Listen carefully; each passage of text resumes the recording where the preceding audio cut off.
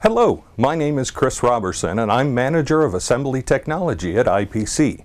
Today I'd like to talk about flux. Traditional fluxes used for electronic soldering have come from pine tree sap. Other chemicals, like a wetting agent, can be added to modify or enhance the properties of the base flux.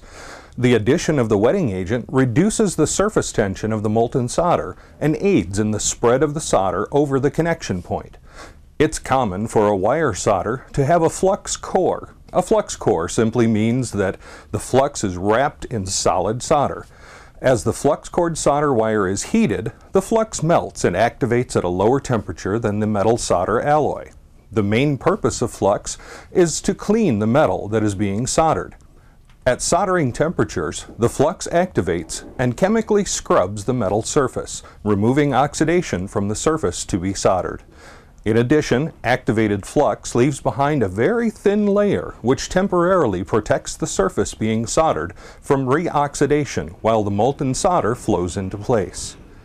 Oxidation is a reaction of oxygen with the surface of the metal. A layer of oxidation can make soldering to a surface difficult or even impossible.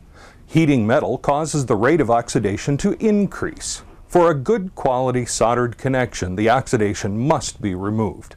So why use flux when reheating a soldered connection? Once the flux has done the work of cleaning the surface to be soldered, it is no longer active and, even when reheating, can't further clean the connection.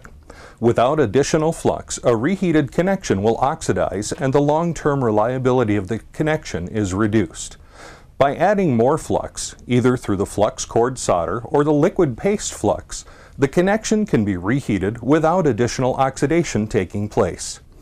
I hope this edition of Tech Questions Online has helped you understand the importance of using flux when heating or reheating a soldered connection. If you like, you can get more information on the basics of hand soldering.